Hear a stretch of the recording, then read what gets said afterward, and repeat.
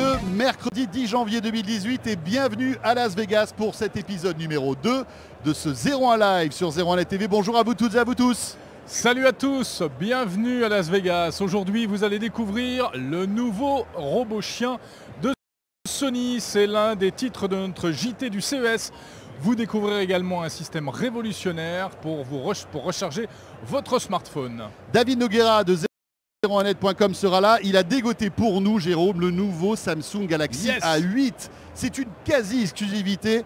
Vous saurez tout, vous verrez ce téléphone sur notre plateau dans quelques minutes. Et puis, nous sommes sur le stand de la Poste. Vous le savez, la Poste qui est en pleine transformation numérique et qui va lancer un carnet de santé numérique. Ça va peut-être changer, bouleverser notre quotidien. On en parle dans un instant. Enfin, on terminera avec du lourd, les innovations en matière de télé, avec nos deux invités, le représentant de LG et le représentant de Panasonic.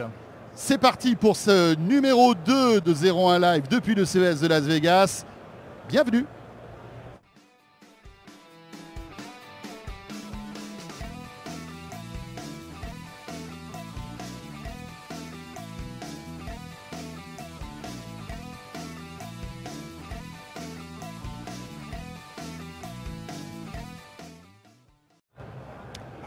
Et bien voilà, ça y est, c'est parti. Une heure de live sur 01net TV. Comme chaque jour, pendant ce CES de Las Vegas, on sera encore présent demain et vendredi, notez l'horaire, 20h, 21h pour vous, heure française, et ici à Las Vegas.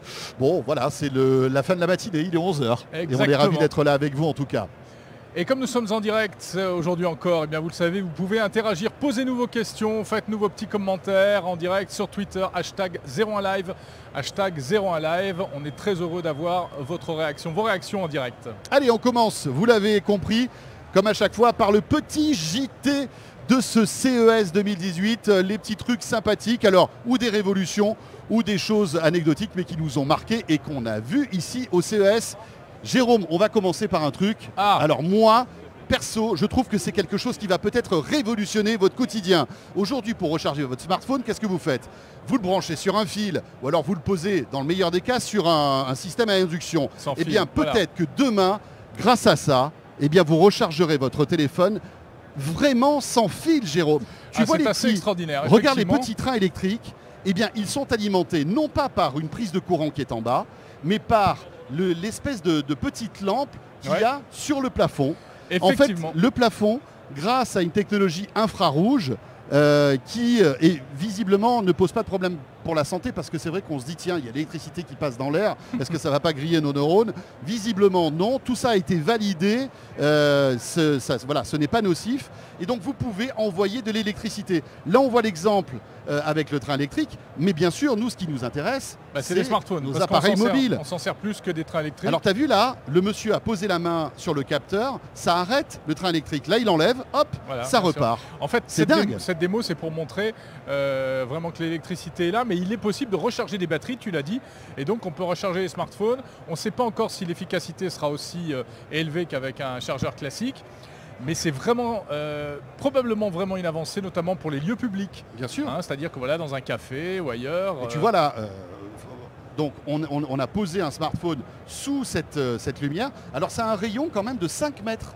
C'est-à-dire qu'il ne faut pas être vraiment sous la lumière. C'est pas comme le Li-Fi, qui est une technologie qui permet de transmettre qui du- de l'internet très haut débit, mais vraiment il faut être sous la lumière. Là, malgré tout, ça marche, euh, ça rayonne en fait dans la pièce. Peut-être que dans quelques années, on aura ça à la maison et on ne se posera plus la question pour recharger les téléphones, les tablettes. Alors ça ne marche pas pour les gros appareils, hein. Euh, on ne pourra pas brancher un, parce que sinon, réfrigérateur. sinon, on aurait le problème que tu décrivais tout à l'heure. Si on fait passer une, une forte puissance électrique, là forcément, il vaut mieux vaut mieux pas se trouver au milieu du faisceau. Bon, moi j'aimerais, en une- tout cas, voilà, j'aimerais bien que ça arrive très vite ce C'est une start-up israélienne hein, Oui. qui propose ça, et Ça s'appelle un- WeCharge. et qui a reçu un Innovation Award.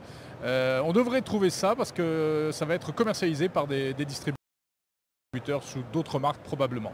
Voilà. Autre innovation, je te propose de parler un peu de robots. Oui, si tu Quand veux. même, Ouais. on est au CES de Las Vegas, il y a des robots, et il y en a un que euh, on va redécouvrir d'une certaine manière, parce que c'est le robot Aibo de Sony. Rappelez-vous, au début des années 2000, Sony avait lancé ce petit chien qui était assez révolutionnaire, mais c'était peut-être un peu tôt. Et en 2006, eh bien parce que ça n'avait pas vraiment marché, ça coûtait très cher, etc. Enfin, ça marchait bien au Japon, mais pas tellement au-delà. Euh,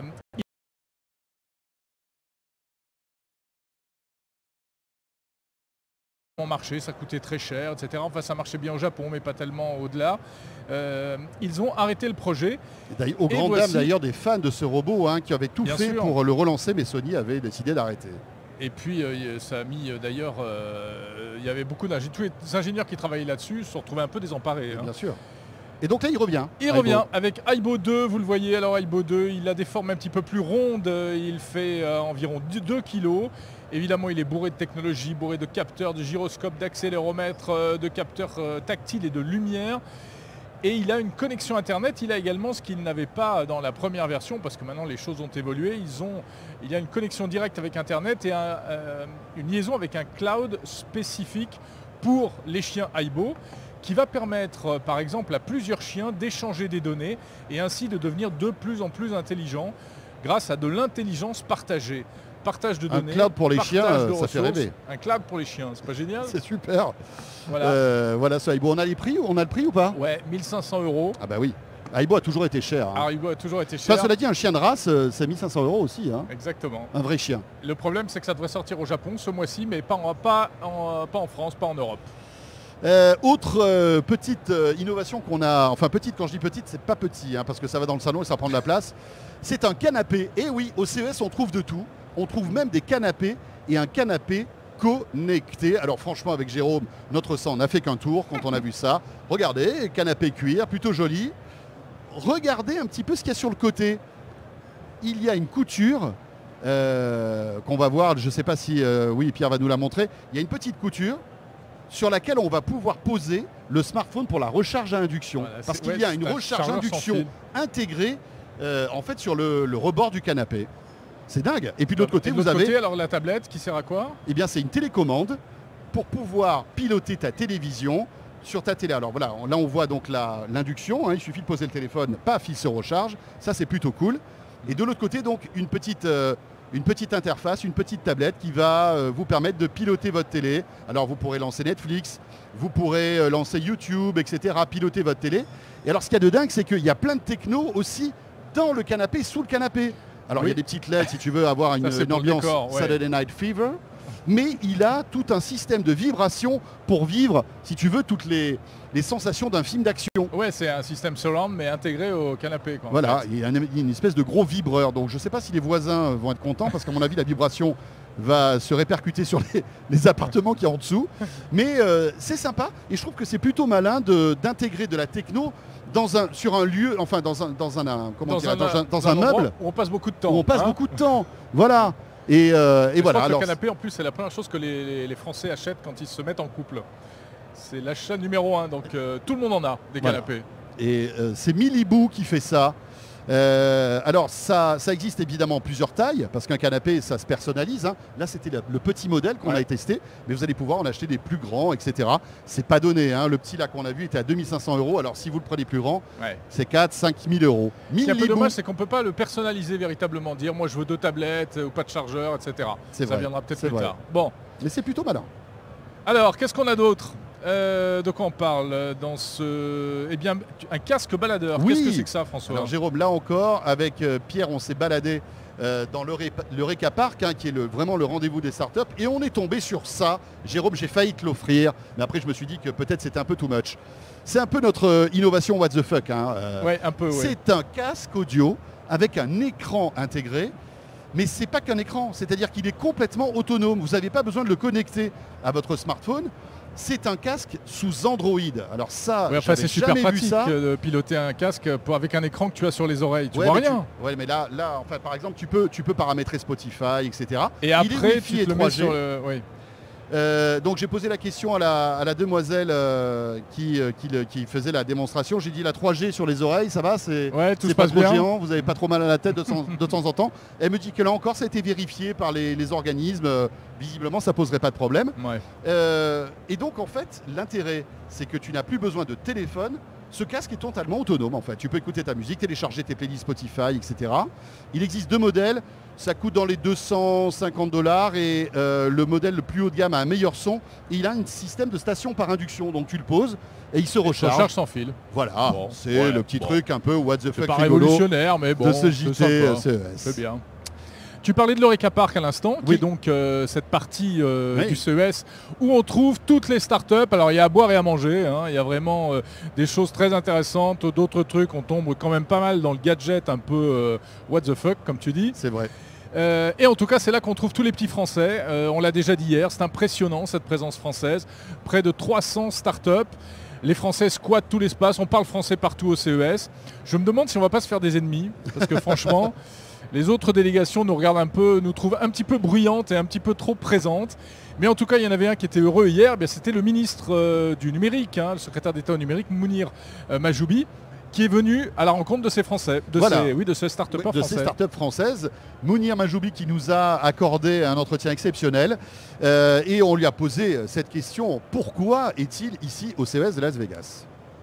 Cette année au CES, il n'y a jamais eu autant de startups françaises présentes. N'y a jamais eu de produits, autant de produits matures euh, montrés au monde.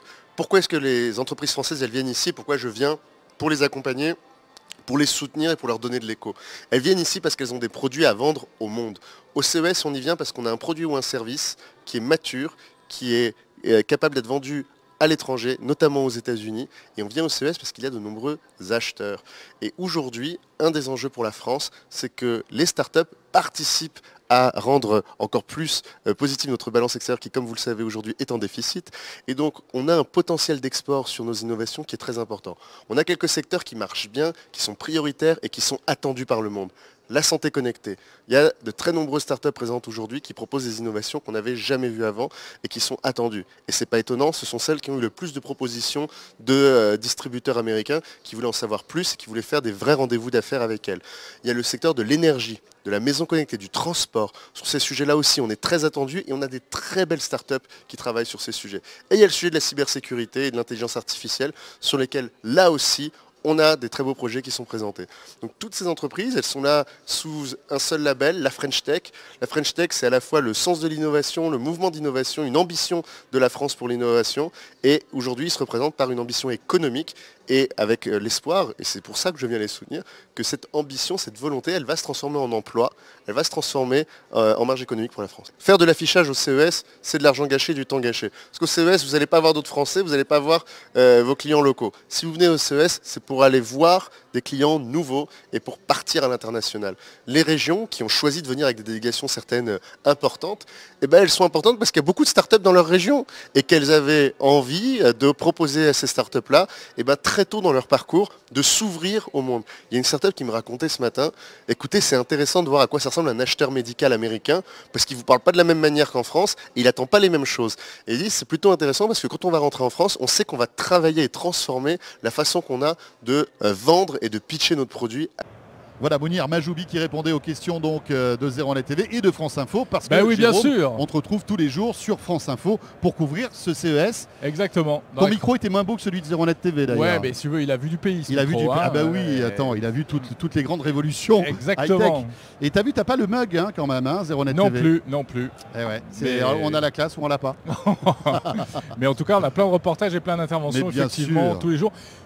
Et moi, demain, je serai en direct une bonne partie de la nuit vrai. sur France Info, à partir de minuit. Depuis De minuit à CES. 5 heures. Voilà.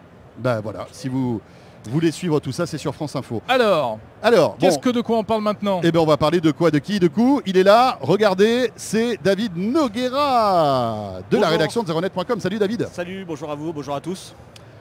David, deuxième jour ici. Ouais. Et tu n'es pas venu les mains vides. Tu Non. es venu avec une petite exclusivité. Avec- rien que ça. Tout à fait. Quelques regrets parce qu'hier on avait prévu plein de tournages avec JD et puis alors la météo nous a pas aidé puisque moi c'est la voiture et il faisait accessoirement un temps exécrable hier donc toutes nos démos ont été Ah, annulées c'était le déluge. Et un- moi un- mais je veux Le dire, c'est déluge dans le désert. c'est rarissime. On n'a vraiment pas de chance. Ouais. Il- il- il- il- enfin, on a eu, il y a eu des, des- des- Des trompes d'eau. des averses c'est mais là qu'on voit qu'ils sont incroyables. pas dimensionnés alors tout qu'on est parce en que tout plein était désert. inondé. hein. Ouais. Ils Voilà. sont pas habitués à ça. Ça fuyait dans le salon, c'était cool. Mais bon, voilà, ça m'a pas empêché Mais de je crois trouver la quand même qu'il y a petite des stands qui ont dû fermer parce oui. qu'ils Ouais. étaient. Parce les produits, euh, Google a été touché. Enfin, c'est horrible. N'importe quoi. Non, la vraie, la vraie info, c'est qu'effectivement, on a sollicité les petits gens de chez Samsung et ils nous ont passé le Galaxy A8. Donc ce, ce peut-être euh, super modèle euh, de smartphone pour, euh, pour 2018. Euh, et c'est vrai que du coup, bah, je l'ai laissé à Adrien et à Thomas qui ont déjà travaillé dessus et qui ont déjà publié une, vidéo sur, sur 01net. Mais le- le vrai le vrai plus de ce produit, C'est eh bien c'est que pas. il est assis. En fait, je pense que juste l'écran est verrouillé. Voilà, Voilà. regardez. Alors c'est un, c'est un beau produit, très agréable en main. Alors ce A8 à la base, c'est vrai que c'est c'est pas un- c'est pas une qualité de finition des S, mais quand on l'a en main, il est vraiment flatteur. C'est vraiment un, un joli produit. Rappelons que la Sympa. série des A, c'est du moyen de C'est gamme. du hein, milieu de gamme, tout à fait. Voilà. Là, on sera, alors, on va tout de suite euh, aller dans le dur avec le prix. A priori, il serait euh, dispo euh, chez nous aux alentours de mi-janvier, un tarif qui se situerait aux alentours des 450-500 euros. C'est vrai qu'on on espère plutôt que ce sera 450 euros. Mais ce qui est cool, c'est que finalement, eh bien, il a une particularité. Si on arrive à l'avoir, là, si tu remontes un petit peu plus haut, c'est ce double capteur photo, enfin double module photo en façade pour améliorer rare, du ça. coup la qualité des selfies. Tout à fait, c'est rare. D'autant qu'ils sont lumineux, euh, c'est des, des optiques qui ouvrent à f1.7 et donc du coup on arrive à avoir euh, des, des- des selfies qui sont a priori de bonne qualité selon Adrien, c'est tout à fait correct, y compris pour les photos au dos. Le souci c'est que c'est quand même un prototype, donc il va y avoir des améliorations. On sait que les, les améliorations logicielles euh, permettent de- de- de- d'améliorer aussi la qualité pas mal des photos. Euh, et maintenant il y a plein d'autres bonnes idées comme le système de tiroir à double SIM. Je, te- je te le laisse, voilà. Donc à l'arrière, on le voit un petit peu à l'arrière. à l'arrière, effectivement, du coup, on n'a plus qu'un, on a un seul capteur, le lecteur d'empreinte digitale et le petit flash à côté. À l'arrière, c'est un capteur photo 16 mégapixels, pardon, qui lui ouvre cette fois-ci à Rappelons- euh, Alors- un 7, pardon. C'est un 7 à l'arrière, un 9 à l'avant. Juste ces traces de doigts, c'est pas les Alors, c'est David qui a c'est mangé. Joli c'est- joli. Il hein, a mangé du Nutella, le il a mis les mains problème. dans le pot directement. Hein, c'est le ça. problème de ces smartphones avec les dos plastiques noirs brillants. c'est n'importe quoi. hein. Bon, l'écran, allez, parce que quand même la- l'autre force, c'est cet écran 18,5 neuvième qui est donc quasi sans bord, un super AMOLED 2220 pixels par 1080, donc une belle définition, processeur 8 cœurs 2,2 GHz, 4 Go de mémoire vive, 32 Go de stockage, et puis euh, il est IP68, donc étanche. 1m50 euh, juste pendant 30 minutes. Donc voilà, donc un, un produit qui est, qui est très prometteur et prometteur aussi parce que du coup comme il n'est pas trop puissant, batterie 3000 mAh, on devrait avoir des autonomies qui seront correctes à vérifier au moment des tests. Un produit assez fin euh, qui fait seulement euh, 4 9 mm d'épaisseur, 172 grammes, donc un truc très sympa avec une très bonne idée moi je trouve, c'est qu'il a un emplacement SIM plus un deuxième emplacement SIM et un emplacement micro SD. Voilà, donc on Ah a oui. vraiment La de quoi faire quand on voyage. C'est vraiment, euh, c'est vraiment plutôt sympa comme, euh, comme produit. Voilà. Tiens, on verra si le Galaxy Double S9 SIM. qui sera sans doute annoncé au MWC aura ce double capteur en façade pour les selfies. Exactement, ça pourrait être On va voir ce que ça une donne. piste pour, ce, pour le prochain haut de gamme ensuite. Ouais, tout à fait. Voilà, vous êtes les premiers, hein, euh, quasiment les premiers à voir ce téléphone, hein, les Exactement. amis. hein. Il y a- C'est il y a- une, avant-première. euh, ça, c'est cool. David, autre chose. Autre Alors, chose. chez Nvidia, il ne pleuvait pas, donc c'était plus facile. Alors chez Nvidia, il ne pleuvait pas à l'intérieur. et c'est vrai que du coup, cette année, Ça, c'est fort. Quand il pleut pas à l'intérieur, c'est bien. c'est bon pas, mal. C'est pas mal. c'est euh, c'est vrai que cette année, alors Nvidia, tous les ans, ils nous font des démos de véhicules autonomes, euh, donc sur les espaces extérieurs. Et cette année, on n'avait pas de démo de véhicules autonomes, mais on était euh, à l'intérieur et donc ils nous parlaient toujours de véhicules autonomes, mais pour, sous, une autre, sous un autre aspect, c'est-à-dire que ils ont annoncé Pegasus, on en a parlé, à Munich, donc leur plateforme qui permet la conduite autonome de niveau 5. Eux, ils sont prêts, donc maintenant, ils vont laisser les constructeurs voir venir et la législation changer, et ils continuent de bosser sur cette voiture autonome côté intelligence artificielle et euh, logiciel. Là, par exemple, on est à bord d'un simulateur qui permet aux Alors, ça, ingénieurs c'est de faux. chez Ça, c'est Nvidia fake. Écran. ça, c'est complètement fake. C'est en fait, il faut considérer, il y a ce projet holodeck chez Nvidia qui permet de, de rentrer dans la réalité virtuelle et de se retrouver dans la, dans la peau d'un robot. Et là, en l'occurrence, le robot, eh bien, il peut complètement monter dans cette voiture virtuelle et apprécier la qualité de l'intégration des différents composants. Ça permet aux équipementiers de ne pas dépenser de sous outre mesure pour installer des systèmes d'affichage tête haute, installer des écrans LCD partout. Ouais. Ils utilisent cette technologie, ils utilisent la puissance du- des moteurs de rendu Nvidia pour voir eh bien, euh, ce que ça donne, tout simplement, euh, une fois qu'on a intégré, là ici, un écran complètement numérique. Est-ce que c'est perturbant? Est-ce que c'est de qualité? Etc.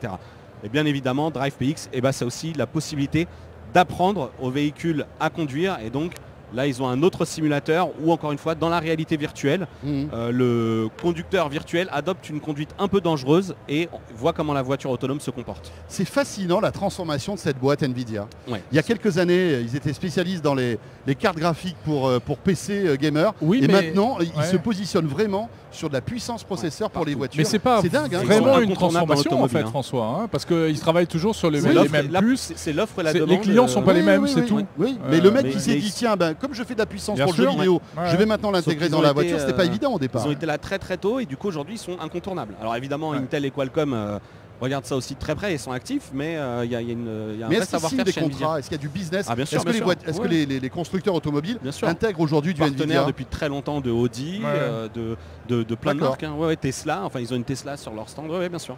Il y a du, il y a du Tegra Il y a 4 du depuis très dans, longtemps. dans- dans les Tesla? Dans les Tesla, tout à fait, pour la partie infotainment. Voilà, et on attend la, la modèle 3 hein, euh, qui devrait arriver si tout va bien dans quelques mois. En tout cas, ça y est, elle est, elle est disponible. Elle est, elle est ici commence, aux elle, est- elle est hein. livrée, ouais. Quand, Aux je, États-Unis, quand, quand je, mais pas oui, en Europe. hein. quand je me balade Pas là sur le stream, j'essaie de voir si j'en vois pas une, mais il n'y en a pas. Il y en a pas. Carjacking. Si jamais vous voyez François Sorel aux infos, c'est qu'il a carjacké un, un conducteur de modèle 3.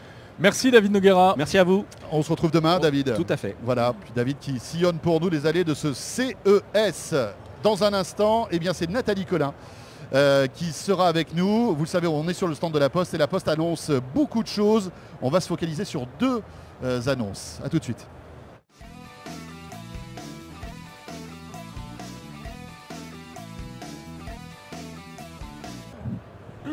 Nous sommes donc toujours en direct, c'est 01 Live spécial CES, jour 2. Merci de nous suivre. Et nous accueillons Nathalie Collin, qui en fait est notre hôte. C'est vous qui nous accueillez ici sur votre stand. Et avec grand Bonjour. plaisir, comme tous les ans. Merci pour votre Bonjour. hospitalité, Nathalie. Euh, on a, alors on vous l'a montré, hein, même on vous a montré un petit peu le off. On a un super studio ici et c'est grâce à vous, on vous en remercie. Nathalie, pas mal de nouveautés. Euh, ça fait la quatrième année Oui. que la Poste est ici. Que de chemin parcouru parce qu'on vous suit depuis le début. hein. et on voit petit à petit une, une espèce de, de maturité de votre présence ici. hein. On est d'accord? Bah, on est un petit peu dans l'année du passage à l'échelle en vérité. C'est-à-dire que tout ce qu'on avait présenté, amené, maintenant est complètement industrialisé. Euh, tous les services facteurs sont portés par le hub. On a euh, euh, 2 millions de comptes Digipost qui sont ouverts. On a 9 millions de comptes La Poste. Donc euh, on est dans l'année, oui, de la maturité et du passage à l'échelle. Donc pour nous, c'était important et, et donc ça nous permet de poser de nouvelles offres dont j'imagine qu'on va parler après. Et combien de, de start-up et d'innovations présentes cette année? Alors on a 15 startups avec nous toujours à Eureka Park, hein, puisqu'on est sur les, les- Ouais. les deux étages du salon. Ouais, Vous êtes sur deux lieux ici. On est sur deux lieux, on a un lieu spécifique pour les startups et on a le, le stand général de- du, du groupe La Poste que vous voyez là à l'écran. Et euh, on a, euh, il faudrait aller sur le mur des innovations, mais peut-être une, une vingtaine de produits. Nathalie, on a beaucoup de questions d'auditeurs qui disent mais pourquoi la Poste est au CES Je vous pose la question chaque année, mais il faut le répéter parce que c'est vrai que c'est pas. On a, l'habitude de voir ici des, des- des entreprises de, de technologie, mais aujourd'hui la Poste est une entreprise techno. Alors La Poste est une entreprise techno, nativement quelque part, puisque quand on transporte des dizaines de milliards d'objets, comme c'est le cas de la Poste, évidemment on est nativement dans le big data et dans, et dans la techno. Mais euh, cela étant dit, on est aussi beaucoup dans la techno digitale et on ne le sait pas suffisamment. Et, et le, le rôle très particulier de la Poste, que ce soit dans son rôle d'universalité ou de tiers de confiance sur les données, le met au cœur finalement de beaucoup d'écosystèmes technologiques. Et c'est ça qu'on vient montrer au CES. Et on vient au CES pour avoir un peu un endroit où on peut montrer au même moment toutes nos, toutes nos innovations et qui permet aussi de, de montrer à quel point la Poste est un groupe innovant d'un point de vue technologique. Innovant Alors- en matière de e-santé. Pardon Jérôme, je t'ai coupé. Non mais voilà, donc euh, comme chaque année des innovations que vous présentez, à chaque fois il y a du neuf, l'année dernière je me souviens on parlait beaucoup de maisons connectées, etc. Et cette année effectivement, gros plan sur la e-santé, hein, avec euh, un nouveau produit qui est vraiment étonnant. Alors on continue à tirer le fil en fait. hein. C'est euh, vrai que c'est un nouveau euh, produit et en même temps c'est la suite de ce que nous faisons en termes de euh, rôle de tiers de confiance. Quand on est hébergeur euh, du, par exemple du, du dossier pharmaceutique pour l'ordre des pharmaciens ou quand on, et c'est déjà le cas, on met dans Digipost un volet santé, on continue ce rôle-là en allant plus loin avec le carnet de santé. Alors c'est une application. Alors qu'est-ce que c'est que ça? Le, carnet de santé le numérique. Le carnet de santé. santé numérique, c'est une application qui s'appelle La Poste e-santé, hein, qui est disponible sur les stores. Moi, je l'ai euh, téléchargé, par exemple, évidemment, et qui va vous permettre d'avoir un suivi de santé assez simple, mais qui peut aller jusqu'à des choses très évoluées. Alors, assez simple, on va démarrer, par exemple, évidemment, vous rentrez euh, euh, votre poids, vous rentrez euh, votre taille, mais ça, on le fait déjà, par exemple, sur son smartphone. par- Tout à fait, j'allais vous poser la question. Bon. C'est des choses qu'on commence à faire nativement Absolument. sur iPhone Mais là. Et c'est l'intérêt de la position un peu universelle de la Poste, c'est que à la fois vous pouvez connecter tout ce que vous voulez comme objet connecté, quelles que soient les marques. C'est pas genre euh, vous pouvez pas acheter un Google Home sur Amazon. Là, nous on connecte tout le monde. Il n'y a pas de, il y a pas de, il y a pas de filtre. Ce que j'ai essayé en fait pendant mes vacances, j'ai pas réussi. Euh, Il n'y a pas de filtre. Mais par- Interopérabilité maximum. interopérabilité totale. Et l'autre chose qui est extrêmement intéressante, c'est le rôle de tiers de confiance de la Poste, c'est que vous pouvez aussi décider de partager ces données de santé avec qui vous souhaitez. Et ça c'est intéressant parce que ça va être utilisé par le personnel médical. Alors dans la partie pour soi, il y a euh, le, carnet, le carnet de vaccination par exemple. Pour rentrer votre dernière vaccination, le carnet va vous rappeler que vous avez une vaccination à faire au bout du délai euh, normal de D'autant de qu'on en a de plus en plus de vaccins à faire. Alors avec le nouveau, avec la recrudescence des vaccins, c'est très intéressant. Surtout pour les petits enfants. Surtout pour les Pas petits. tellement Surtout pour, pour les euh, petits, pour les c'est vrai. grands comme toi, vrai. Mais donc ça c'est une, une partie. Mais en même temps, vous allez, c'est le système des collecteurs par exemple de Digipost, vous allez rentrer euh, les coordonnées de euh, votre laboratoire d'analyse médicale, le carnet de santé va absorber les analyses médicales et vous faire des prescriptions, ou en tout cas vous donner une, une analyse, une pré-analyse des analyses médicales. Là vous avez peut-être un problème, allez consulter votre médecin, etc. On rentre quand même plus de 2000 règles de santé à l'intérieur du carnet de santé et on en, et on en rajoute tout le temps. Mais également, ça va vous permettre de décider de partager ces données de santé. Vous, là, il y a quelque chose de très important dans la conception de la Poste, c'est que on ne- on n'est pas détenteur des données nous-mêmes. On le fait pour le compte de l'individu. C'est-à-dire que Vous si êtes vous tiers de ouvrez- confiance, comme on on est complètement tiers de confiance, comme on le fait dans le monde physique. Si demain vous ouvrez un carnet de santé à la Poste, les données de santé qui vont être dans ce carnet de santé, elles sont à vous. Mhm. On ne va pas les utiliser, on ne va pas les revendre, on ne va rien en faire, sauf si vous nous demandez évidemment de faire des analyses, etc. Vous pensez que c'est un élément différenciant important euh, par rapport à- aux craintes qu'on peut avoir aujourd'hui vis-à-vis de Amazon, Google, etc. Nous, on pense que de donner ce choix-là à l'utilisateur, c'est un choix différenciant. On l'a fait dans finalement l'assistant numérique. Et on voit bien que dans l'assistant, vos données, elles sont à vous. Vous pouvez décider après de les partager, d'en faire ce que vous voulez, mais elles sont à vous. On le fait également dans la santé. Nous, on pense que c'est très différenciant et de, de plus en plus important. Parce que c'est en train de devenir un, un point absolument critique pour les gens. Et quand on touche à la santé, puis- on est par exemple beaucoup en rapport avec euh, le secteur des mutuelles. Dans les mutuelles, elles n'ont pas le droit d'être détentrices de données de santé. Et puis on change de mutuelle au cours de sa vie, quand on change d'employeur par exemple. Ça va permettre à l'individu de dire moi ça m'intéresse de bénéficier du coaching santé de ma mutuelle. Donc j'ai envie de partager mes données de santé avec elle pour qu'elle me rende ce service. Mais le jour où je n'ai plus envie parce que Pour une raison pour une envie autre. ou parce que je change de mutuelle, Ouais. je dis juste à la, à la poste ou je Tac, paramètre, je coupe. Et ça, nous on trouve que c'est extrêmement important. Et puis si on fait le rapport, si on revient sur les GAFA, là, ces données sont stockées en France. Elles sont stockées en France. C'est des données sensibles, malgré tout. Oui, et d'ailleurs, nous sommes hébergeurs de données de santé, ce qui n'est pas si simple, hein, c'est vraiment un, un label. Donc on a ce label hébergement de données de santé. L'application a été aussi labellisée par les autorités de santé. Et pour vous dire jusqu'où on va, parce que là je vous ai dit finalement le premier niveau, votre carnet de vaccination, et puis vous allez jusqu'à partager des données de santé avec vos professionnels Y de compris santé. des examens médicaux, des, Des radios, des examens médicaux, ce que vous, des ce que vous prescriptions, souhaitez. des prescriptions. On a- on deux ça. médecins sur le salon qui, qui expliquent complètement cela, ce qui va permettre de dédramatiser parfois la relation, c'est-à-dire de toucher du doigt et que le médecin, par euh, une, une, euh, consultation en télémédecine, puisse dire Bah, regardez, votre problème il est localisé là, c'est pas la peine d'aller faire la totalité des sites euh, médicaux pour vous imaginer 40 euh, maladies, on peut vous dire ce que vous avez. Mais là où on va encore plus loin, et, euh, et d'ailleurs, il y a eu, ça tombe bien, un, un communiqué de la PHP ce matin sur la création de la première plateforme d'évaluation et d'analyse des objets connectés. C'est dans le cadre de la transplanta- transplantation pulmonaire.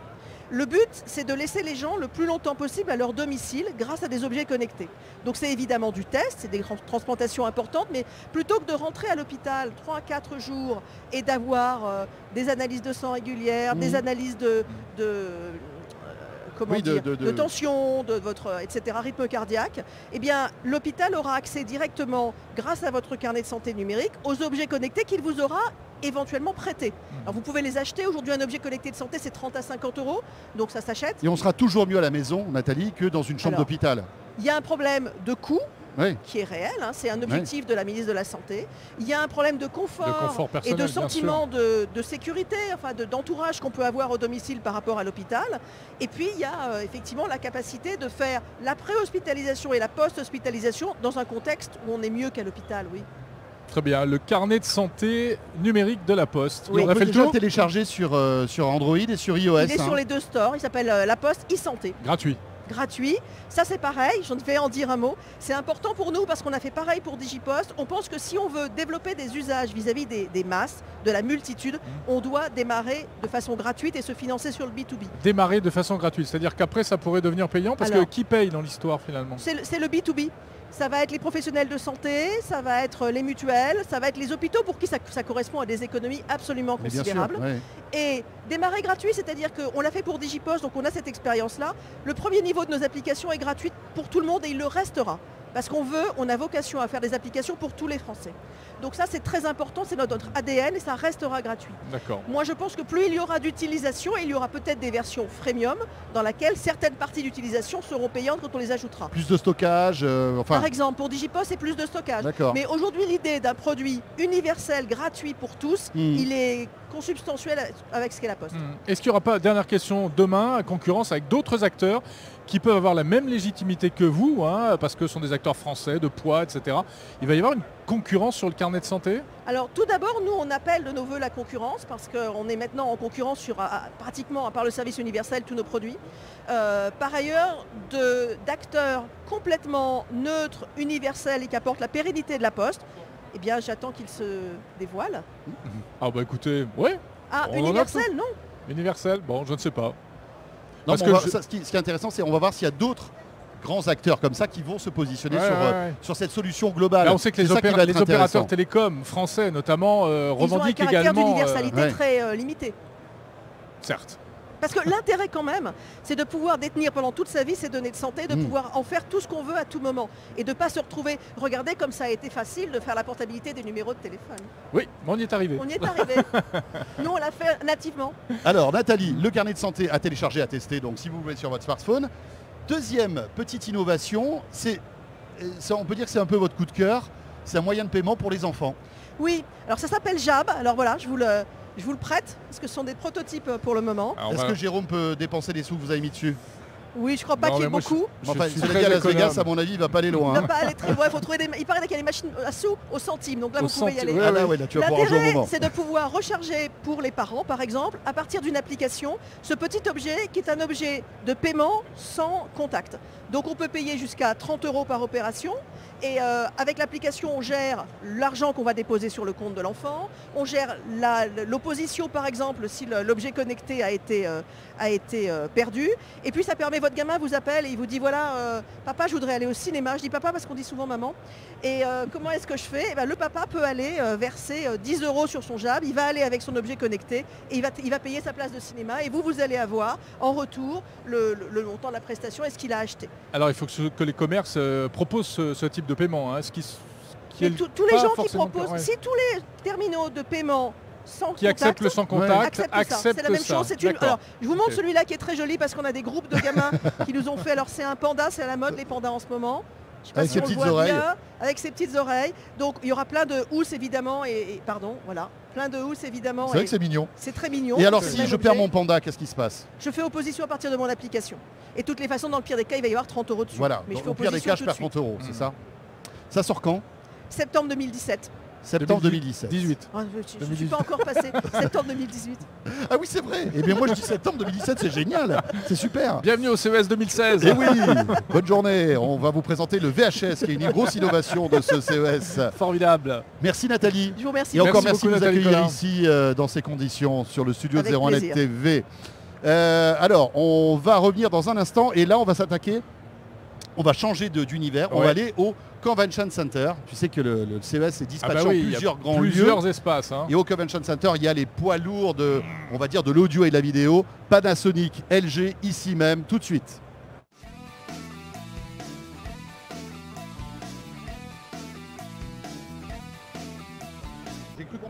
Alors, attention les amis, parce que là maintenant, euh, nous avons quand même, je le disais, deux poids lourds de, Deux de poids lourds. vidéo. On parle pas de, Non, des, non, on des- parle des pas- messieurs pas- qui nous ont rejoints, mais des marques qui poids, nous bien sûr, représentent. parce que vous êtes euh, magnifiques tous les deux. On est très heureux de les accueillir. Stéphane Curtelin de LG France, bonjour. Bonjour. Bonjour Stéphane. Et Eric Novel, bonjour Eric. Bonjour messieurs, directeur général de vous. Panasonic. Euh, euh, alors merci d'être là euh, tous les deux. Il paraît qu'au Convention Center, au LVCC, il n'y a plus d'électricité. Donc finalement, vous faites bien d'être là.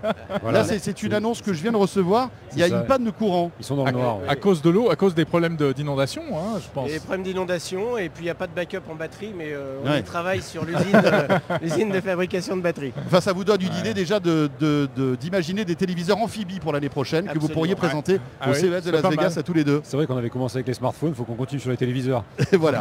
La prochaine étape. Enfin, Euh, le CES sans électricité, ça va être, ça va être un peu triste, hein, je Oui, pense. c'est clair. Alors bon, bien sûr, c'est un rendez-vous important pour des marques comme la vôtre. hein. C'est un peu là où vous euh, montrez votre roadmap. Euh, Panasonic, LG, pas tout à fait la même stratégie, on va en parler. hein. Panasonic, c'est aujourd'hui l'automobile, euh, c'est les avions aussi, euh, et puis c'est aussi la télévision, on, on va l'évoquer dans un instant. Mais j'aimerais donner la parole à Stéphane Curtonin pour commencer. LG qui est vraiment là, calé sur la télévision. Quelles sont les nouveautés de cette année? Alors, toujours de l'OLED, bien Toujours, sûr. toujours de l'OLED, plus que jamais de l'OLED. En plus, si on prend un peu de perspective, ça tombe bien, on a pris de la hauteur sur votre stand cette Oui. année. Ça nous permet Vous n'avez pas le d'apercevoir. vertige, ça non, va ça va, jusque-là tout va Oui, bien. parce qu'on est à l'étage cette Oui, année, est c'est vrai. En mezzanine. Mezzanine. Voilà. Et donc si on, se projette un peu, il y a en plus un grand rendez-vous qui est la Coupe du Monde. Donc c'est encore plus important de Eh oui. proposer des belles télés grande taille. euh, Qu'est-ce qu'on voit là? C'est impressionnant. Alors là, ce qu'on Ouais, voit, euh, c'est quelque chose d'unique. C'est 256 télés 55 pouces OLED. C'est le canyon de l'OLED. Euh, où on a en fait pris des prises de vue euh, locales, mais pas que. Là, on voit euh, des, des extraits du, du Grand Canyon.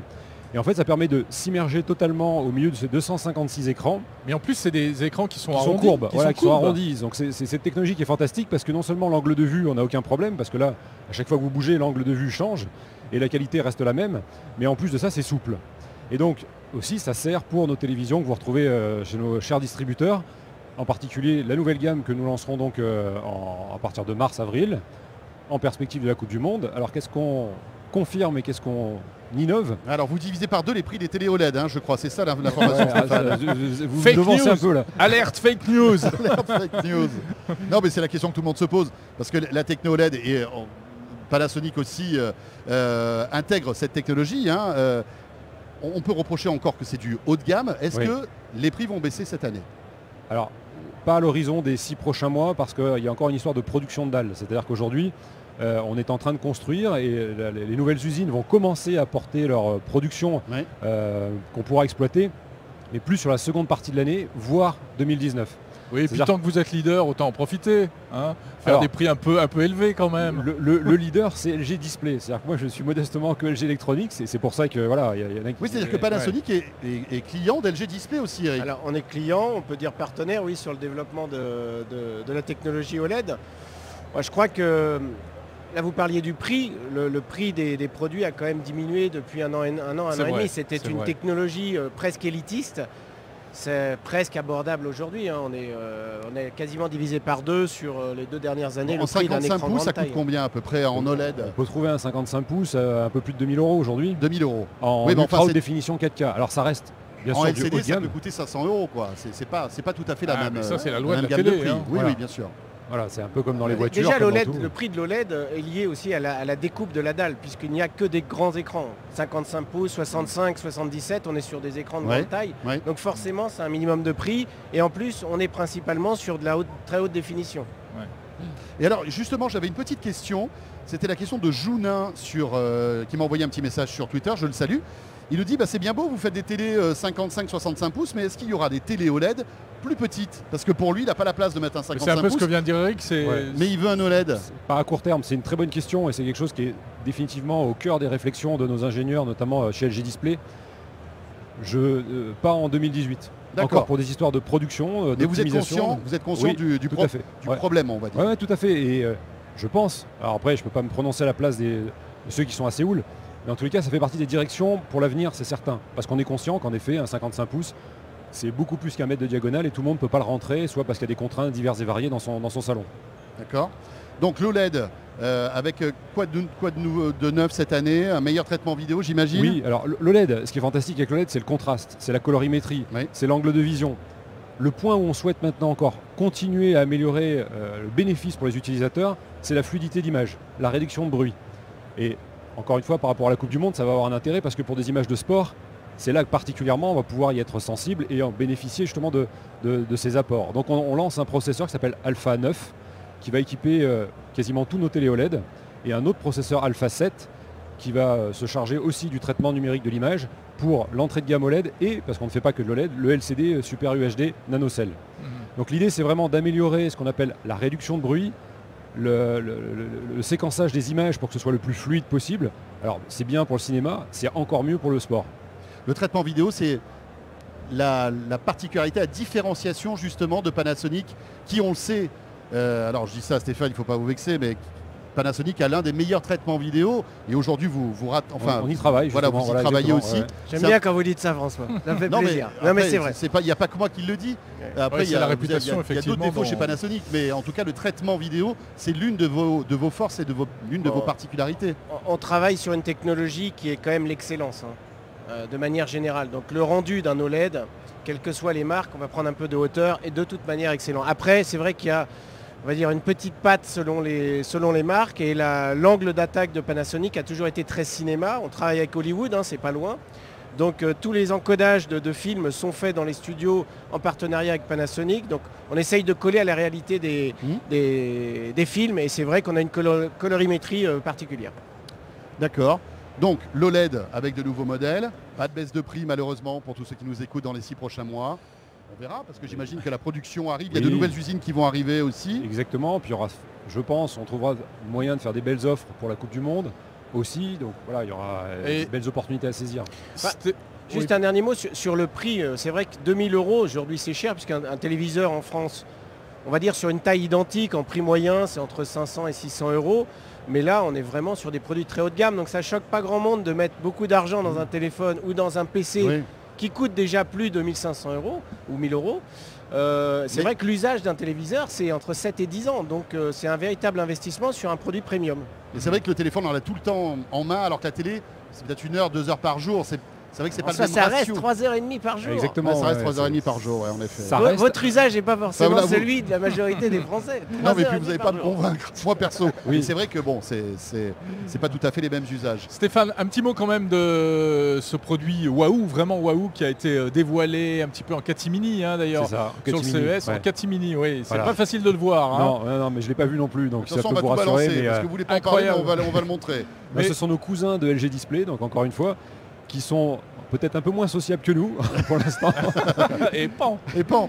Alors qu'est-ce euh, que c'est Commentez-nous les images qu'on voit Qu'est-ce que c'est que ça Alors l'idée c'est euh, l'OLED c'est une technologie qui est fantastique, on l'a dit au niveau qualité d'image, mais qui offre aussi des perspectives de développement en termes de souplesse d'utilisation et de capacité de, de- de nouveaux usages. Donc là l'idée c'est un, c'est un écran qui est complètement adaptable, qui est même dans une certaine partie enroulable et qui donc peut se déployer euh, à l'envie. Là, c'est-à-dire que là, il s'enroule en fait quand Voilà, il est, il il s'enroule, il, s'enroule et il se déroule. Et on Exactement. voit pas, mais il est souple. Il est- Voilà, il est souple. La technologie OLED est une technologie organique, donc elle est souple à la base.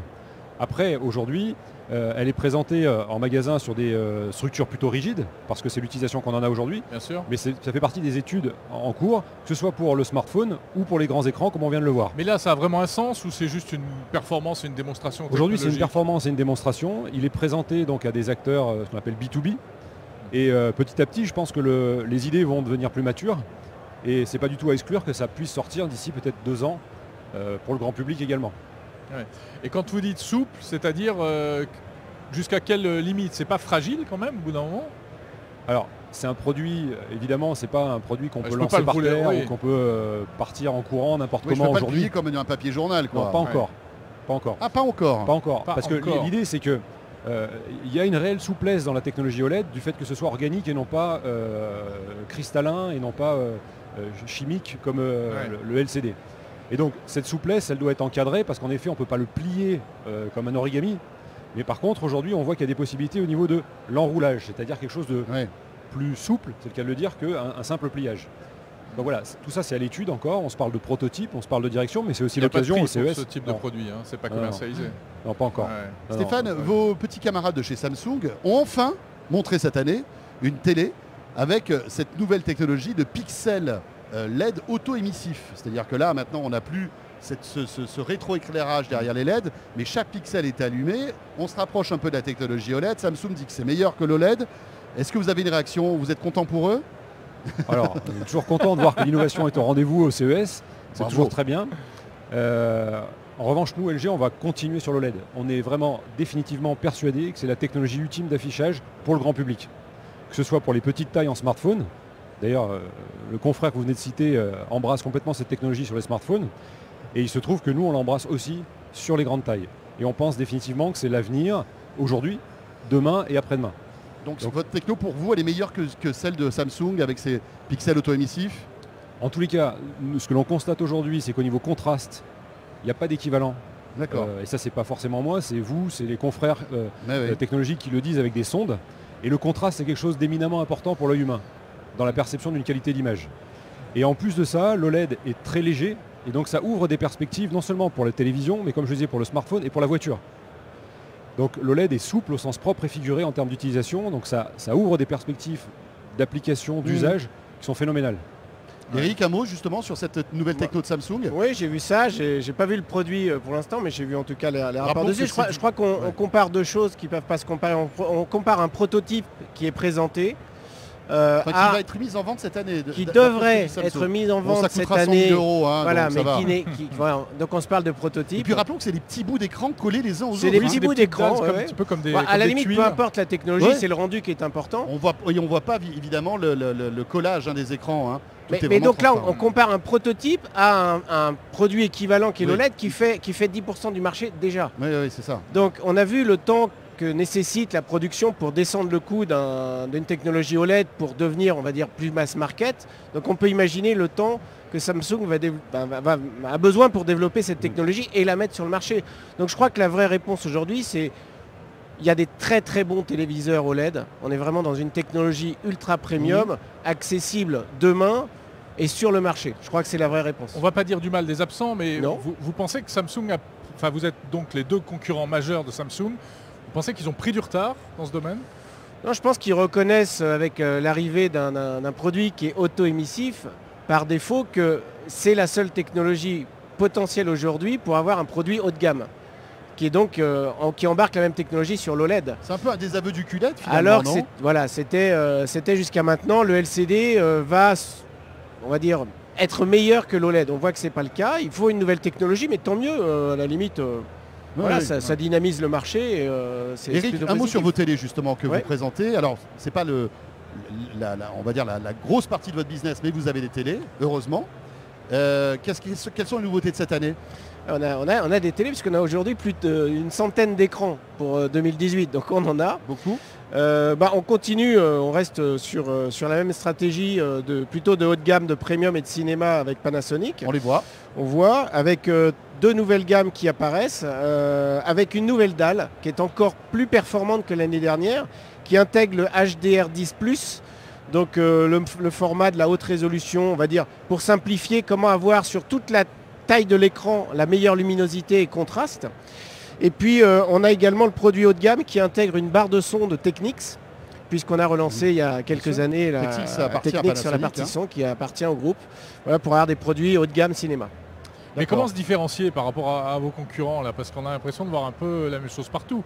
Vous allez axer sur quoi? Sur le prix euh, Sur les, les fonctions connecté supplémentaires aussi qui est sur- important aujourd'hui. Oui, bah, il y, a- il y a plusieurs aspects. On reste quand même dans un produit consumer qui, s'intègre dans, dans un intérieur. Donc on a l'aspect design déjà. Ouais. Donc on a des angles assez, Capitaliser sur l'aspect qualité dont on parlait tout à l'heure assez aussi. différents. On utilise des matériaux différents, un angle d'attaque différent sur le design. Voilà.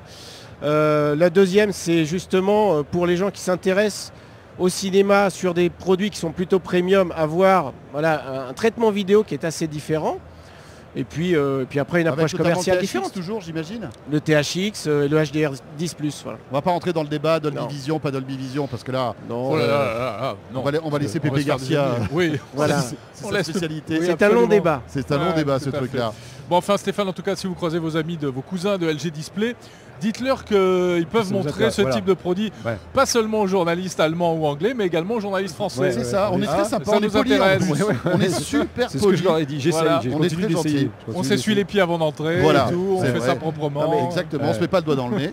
On est ravis de voir cette technologie arriver parce que c'est c'est vraiment une prouesse technologique, mais ça, ça laisse augurer des applications B2B qui sont incroyables. Puisque euh, bah, on parle de- souvent de l'automobile euh, dans Ouais. l'application et le CES est- devient un salon qui est salon presque à automobile. 50% automobile, Ouais. puisque l'intérêt pour les marques c'est de décliner ces technologies dans la voiture. C'est là où le consommateur va justement euh, Eric, justement, développer son intérêt. parlez-nous de la- l'auto, De l'auto. justement que vous présentez euh, et qu'on voit là. Alors ça, Ah, un, ouais, c'est un concept car très futuriste. Euh, donc on conceptualise le véhicule sous, euh, plusieurs angles. Puisque on on va pas parler de l'autonomie. On sait que les voitures euh, seront autonomes, se conduiront toutes seules dans quelques années. C'est un problème de législation.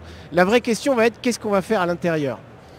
Donc on a quatre angles d'attaque. On a un angle d'attaque professionnel, c'est-à-dire comment aménager un bureau mobile euh, dans, son, dans son véhicule. On a un angle C'est-à-dire, Je suis sur le périph et je Je, travaille. je suis sur le périph, j'ai mon siège qui tourne à 360 et je passe euh, de l'entertainment de ma console euh, de jeu à euh, une partie business où j'aurai un écran où je vais faire du Skype. Donc ça, c'est je vais être en l'autolib de live demain. complète. C'est l'aut- c'est l'automobile de demain, ça c'est hein. sûr. Voilà. Ah l'automobile. rêver ça. Mais Alors là on voit, ça, on euh, voit un écran et là on parle de l'OLED. Tous les écrans que vous voyez là, ce sont des écrans OLED, notamment l'écran transparent. Donc on n'est plus sur, on n'est plus sur des vitres, on est sur des écrans OLED les- transparents. L'escalier qu'on voit derrière, c'est ce qu'il y a vraiment. C'est ce qu'il y a vraiment. Et C'est vous, pas une image. voilà. Et vous voyez en En surimpression. surimpression, on a de l'image. Euh, là, là, typiquement, on fait un sketch. La personne est connectée à Internet et va commander un bouquet de fleurs puisqu'elle a plus, plus besoin de conduire son véhicule. Il choisit un bouquet de fleurs et par Internet va envoyer, va passer sa commande directement par Internet. Et donc, la, la vitre devient un outil de communication à l'intérieur du véhicule. C'est fou. Ouais. Mais ça arrive quand ça? Bah, L'OLED transparent, ça fait déjà un an et demi qu'on Ouais. l'a présenté. Donc, techniquement, c'est au point. Après, pour l'intégrer dans une voiture, euh, c'est, je pense, une dizaine d'années. Il y a Ouais. des problèmes de sécurité en cas de crash. C'est la voiture de dans, dans- de dans 10 ans, ça Ouais, C'est la voiture dans ouais, 15 ans. 15 ans. Et, et l'OLED transparent, c'est du LG Display ou c'est votre techno à vous ça Alors, à la base, euh, de toute façon, le producteur de, de- d'Almer, c'est euh, LG Display. Après, on adapte des technologies euh, maison. Et notamment, euh, ce qu'on n'avait pas montré jusqu'à maintenant, c'est qu'il est transparent et devient tactile.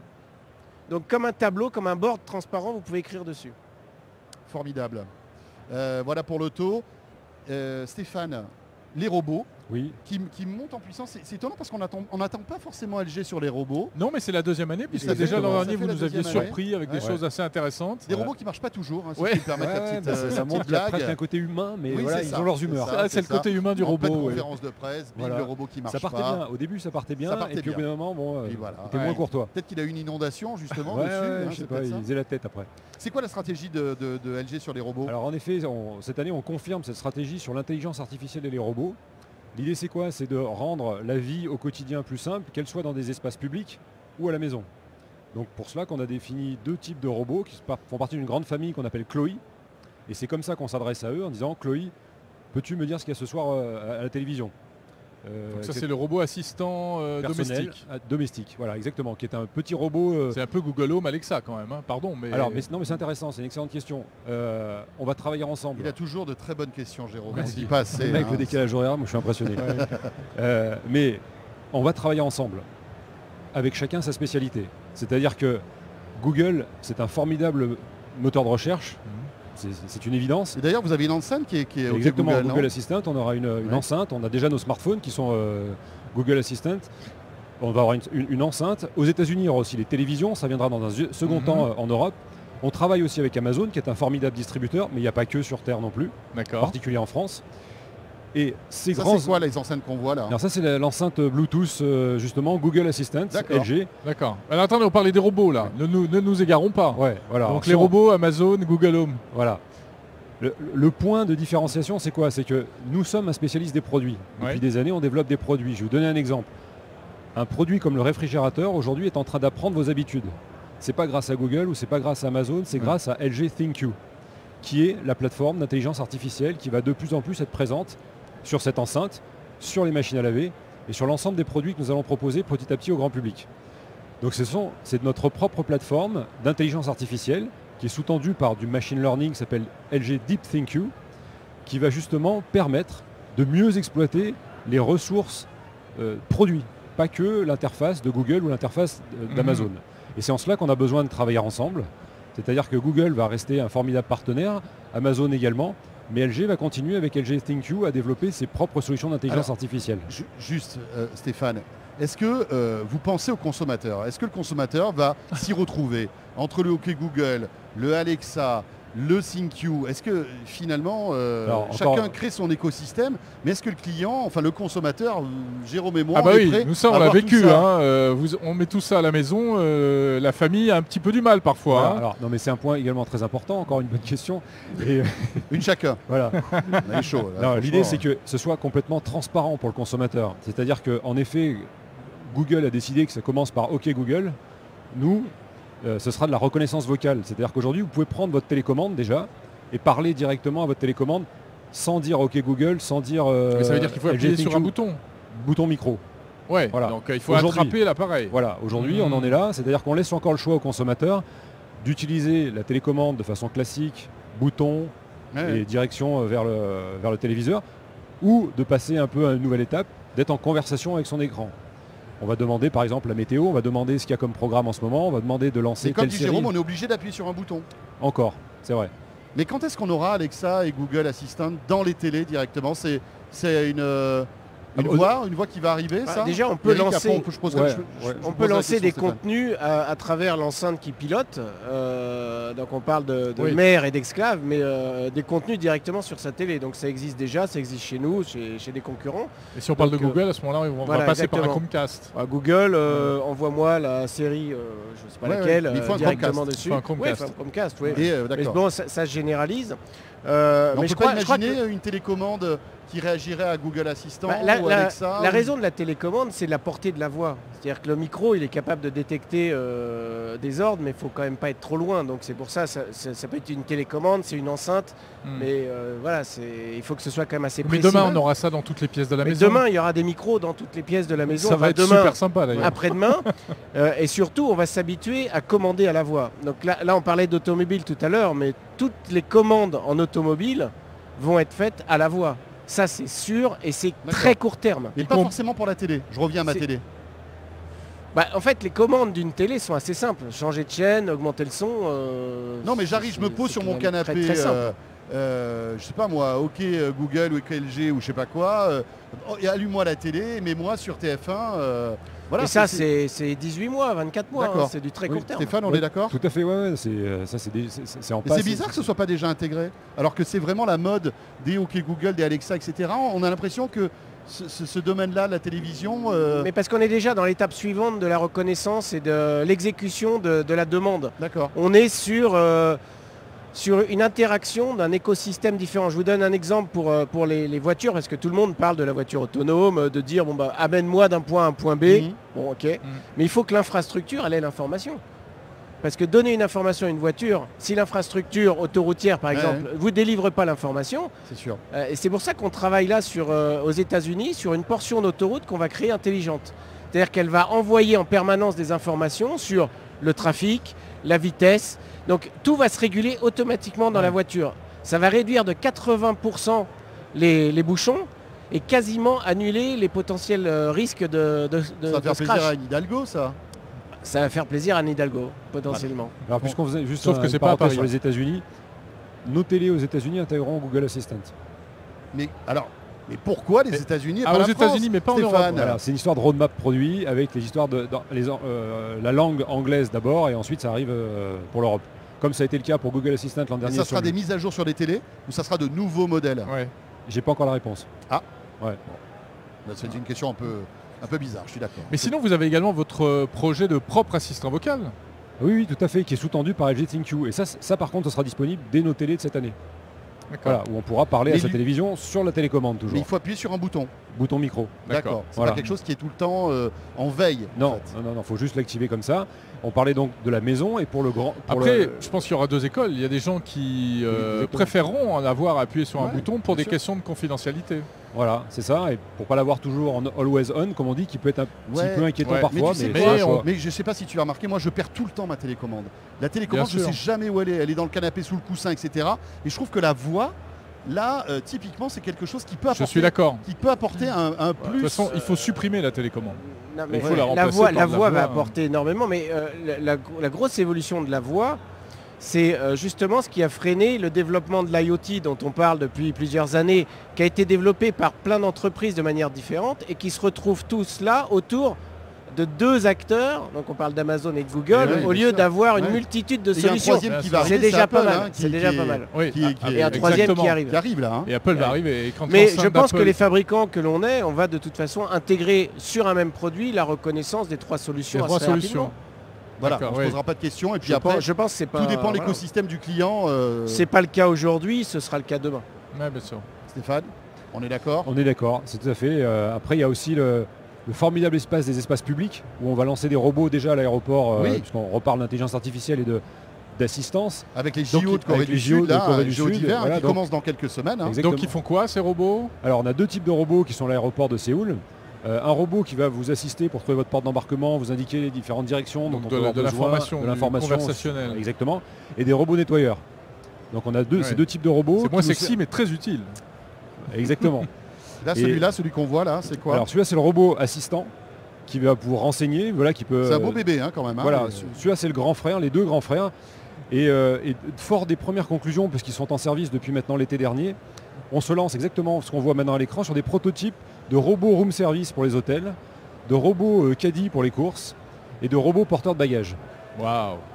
Donc là, on voit un porteur de euh, valise, c'est le cas de le dire. C'est Et euh, génial. on aperçoit Génial. derrière le, le robot caddie qui vous permettra de faire vos courses, qui scannera au fur et à mesure. Donc le les- robot caddie. Voilà. Qui, qui- qui vous suivra dans les, dans les rayons de magasin, qui vous permettra de scanner et de payer. Oh, la fausse baguette, comme elle est belle. Ouais, ouais, c'est une baguette un peu américaine celle-là. Il me tarde d'avoir ça chez Franprix. Hein. Pas pour tout de suite. Vous avez des robots chez euh, Pana, euh, Eric? Euh, alors, on, on, a- on développe pas beaucoup de robots, mais on, on développe là une solution qui est, euh, qui est présentée cette année, euh, qui est en fait une espèce de carcasse dans laquelle euh, les, les- les gens rentrent et qui aide justement sur tout ce qui est manuel, qui vous donne beaucoup plus de force en fait. Vous rentrez dans, une, Un dans un exos- espèce de, de squelette. exosquelette un ça exosquelette exactement qui permet d'avoir euh, une multitude de, de possibilités, Mhm. aussi bien sur la manutention dans les entrepôts, mais sur plein d'autres applications. Écoutez, quelle heure il est bah, il, est Eh écoutez, il est midi. hein. il est midi. On est arrivé, mais on vous écouterait 21h, pendant, heure française. pendant des heures parce qu'on voit bien que les, les sujets sont innombrables euh, autour de la télé et puis de la robotique. Absolument. Merci messieurs, Merci merci, nous voir.